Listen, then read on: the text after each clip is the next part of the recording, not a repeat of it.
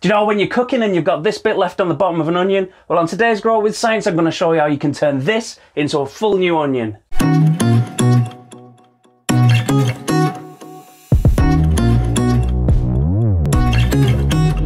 Most people, when they think of onions, think that it's a root vegetable, but that's not the case because an onion is actually a stem surrounded by modified leaves. So these modified leaves are what hold the plant's nutrition and moisture so that it can survive through like the winter or through drought. Uh, and when you have actually, when you cut open an onion, you've got all the onion rings and the bits inside. They are actually the leaves of the onion plant. Onions share this anatomy with other tunicate bulbs like daffodils and tulips, and they're called tunicate because the crispy bit on the outside where the leaves have dried up uh, is just botanically called the tunic. And just like other bulbs, the roots grow out the bottom, and these are normally cut off just for storage. This is a really good experiment to get kids involved with because it's a fantastic introduction to plant science and some of the amazing things that plants can do. So make sure you get them involved and let them do this experiment at home as well. So I'm assuming you're going to know what an onion looks like and just in case, this is what an onion looks like. And just on the bottom there, we've got this little woody lumpy bit that you'll have seen. Um, and it's got little sort of remnants of the roots left over. And this is what's called the basal plate. And everything that grows from the onion, so the leaves that turn into the bulb and the stem that's inside and the roots all originate from this little basal plate that's on the bottom. So logic would dictate that if we cut this off at the bottom uh, and keep it intact, we should be able to grow a whole new plant. When we look at an onion bulb, uh, the main part of it that you see here is actually a leaf system. So all of this that originates from the outside, I mean, if you ever cut it off, you know that you can peel them out in layers. Well, those layers are actually leaves or they would have been a long time ago and they've modified over generations to become what we know as an onion now. And this is where the onion plant stores all of its energy and nutrients so that it can get through winter or through drought. Um, because onions you might not know they're actually a biennial plant. So that means that they grow sort of this big in the first season die back over winter come back next year on a second growth season and that's when they seed and they grow the flowers out the top uh, and make new onion seeds. So if you ever see an onion bolting, which means it's gone to seed early, it means that it thinks it's had two full growing seasons, maybe through a cold spell. It thinks winter's happened again and it's just completing off its life cycle. So next time you have a look at an onion, you know that you're actually eating the leaves inside. So let's get cracking and this is the onion we're going to use. So I'll take this on with me and use it later. But what we're going to do is cut off this bottom bit left-handed so I'm to have to spin it round.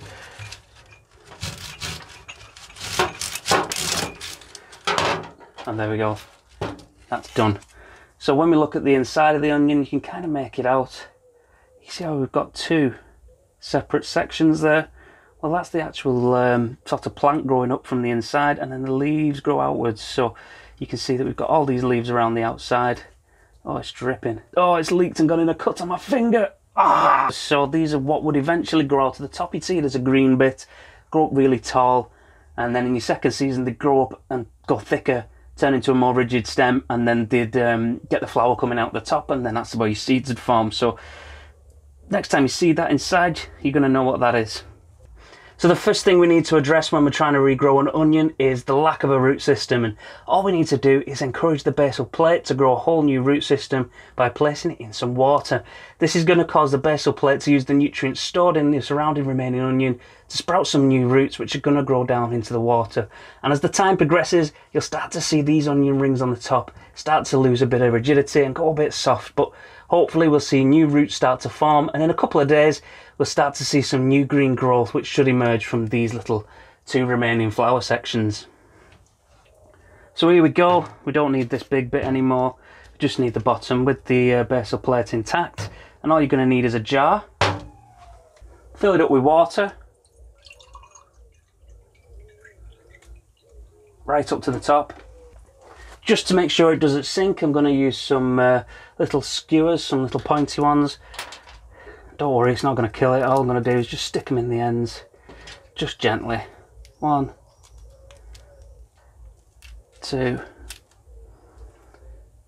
So you can see they're just pointing upwards. And what I'm going to do is just suspend that just on the jar like that. And the sticks are obviously just going to stop it falling in and sink into the bottom because you want to keep it on top. So that's it. I, I mean, that's there now. You can see that that's just rested on top.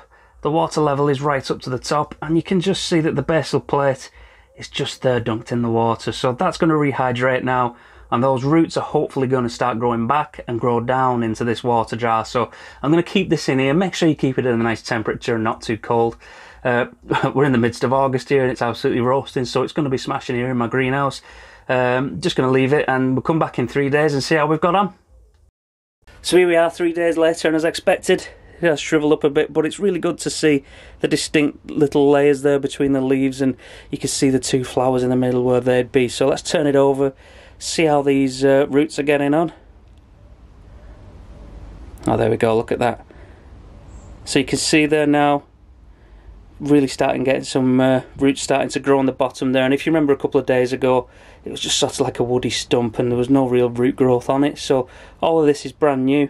Let's give it another three days and see how it is then so here we are at six days, we can see that we've got some brand new white root growth. That's a fantastic sign because that does mean that it's growing, it's producing new roots, and I'm fairly confident that this is going to grow into a new onion. As you can see on the top, we've got a bit of green growth there. That means that the plant is starting to grow and it's starting to produce chlorophyll and chloroplasts, which mean it is going to start photosynthesizing and making its own energy. So that's a really good sign. Let's come back in a few days and see how it's getting on. So here we are after 10 days and as you can see it's really really dried out now and all those layers are really separated but we're still seeing a bit pushing up here uh, and that's where we've got our new growth. So I'm really happy to see that because that does mean it's growing. And when we turn it over look at those roots. We've got loads and loads of really long brand new white roots growing. So I'm really confident that this is going to take off and it's going to be successful. So let's get it in some soil and see how it does. So before we get growing, it's going to take between 90 and 120 days, which is three to four months to grow from this stage to a full onion plant. So make sure you subscribe to my channel, Grow It With Science, so that when we do that update video in future, you'll be able to see how this plant's got on and whether it's worked or not. And one thing I'm going to do when this new onion's grown, I'm going to cut the bottom off and I'm going to do it again. And I'm going to see how many times we can grow new onions from this original one onion and see how that works. That's going to be interesting. So we'll see how that gets on. So here we go, just to start, I'm just going to stick it in this little plant pot uh, just to give it a good start. It's a bit easier to control the water and uh, nutrition when it's in a smaller pot, so just until it gets established and then I'm going to move it into a bigger pot. So let's just get the onion, and there it is. I'm just going to take out the uh, little sticks as well. They, we don't really need them anymore. Take them out. And just get your new roots there. I'm just going to bury them. Poke a hole down there and stick them in and then I'm just going to fill that in